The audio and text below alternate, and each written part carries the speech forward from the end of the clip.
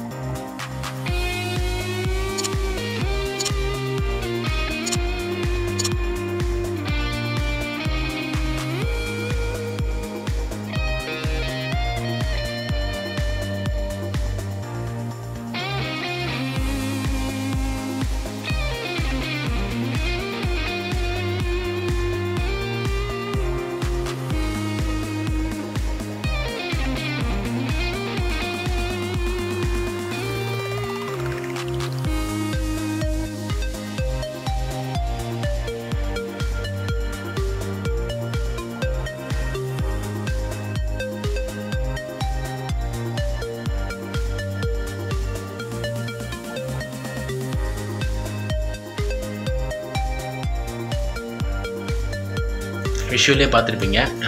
வீடு இல்லாத பிளாட்ஃபார்மில் இருக்கிறவங்கலாம் வந்து கொரோனா டைமில் எப்படி கஷ்டப்படுறாங்கன்றதை வந்து ஃப்ரெண்ட் ஒருத்தர் அவரோட சேனலை கவர் பண்ண போயிருந்தார். ஸோ நானும் வந்து சரி கூட ஹெல்ப்புக்காக போயிருந்தேன். ஸோ போனதுக்கப்புறம் தான் நிறைய டிஸ்டர்பிங்கான விஷயம்லாம் பார்த்தோம். ஸோ டைஜஸ்ட் பண்ண முடியல.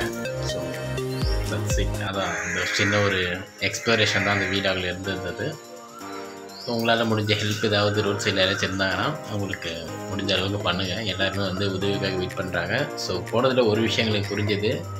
சாப்பாடு இந்த மாதிரி செஞ்சு கொடுக்குறத விட அவங்களுக்கு அரிசி பருப்பாக கொடுத்தா ரொம்பவே யூஸ்ஃபுல்லாக இருக்கும் அப்படின்னு சொல்கிறாங்க ஏன்னா அவங்களுக்கு எவ்வளோ தேவையோ அவ்வளோ சமைச்சிப்பாங்கன்னா ஸோ நிறைய கொடுக்குறதுனால வந்து சாப்பாடுலாம் வேஸ்ட்டாக தான் போகுதுன்னு சொல்லியிருந்தாங்க.